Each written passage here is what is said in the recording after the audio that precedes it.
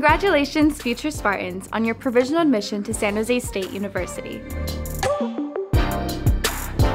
On behalf of our Spartan community, we're excited to invite you to our Admitted Spartan Day event here at our SJSU campus on Saturday, April 15th.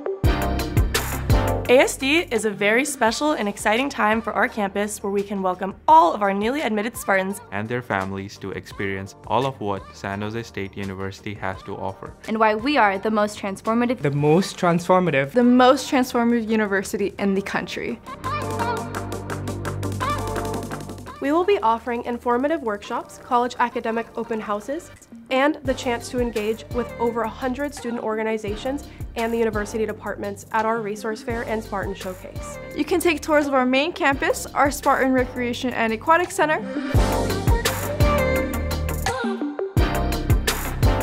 campus housing, the Martin Luther King Jr. Library, our athletic facilities on South Campus, and so much more. All activities will take place from 8 a.m. to 3 p.m. on Saturday, April 15th. So please make sure you plan ahead.